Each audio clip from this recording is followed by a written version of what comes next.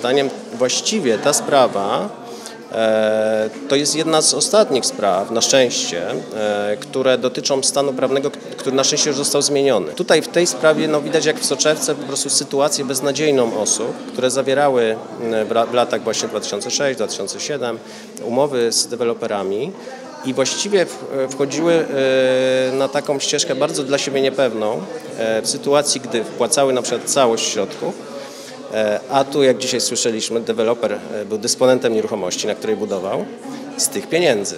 I, I mógł e, dysponować tą nieruchomością na przykład w ten sposób, żeby zabezpieczyć na niej jakieś inne wierzytelności. To dotyczyło głównie instytucji finansowych, ale też różnych innych firm, po prostu, które akurat e, miały pozycję tak mocną względem dewelopera, że mogły sobie na takie zabezpieczenie po prostu pozwolić, żeby je wymusić. prawda?